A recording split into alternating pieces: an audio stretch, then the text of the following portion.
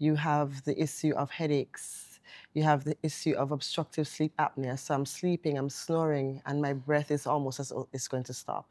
You have to think mm. about heart disease, hypertension, diabetes, fatty liver. Those who have asthma, it can cause you to actually have more difficulty in controlling your asthma. The risk of gallstones, the risk of joint pain, the risk of bowed legs, flat feet, and the list goes on and on.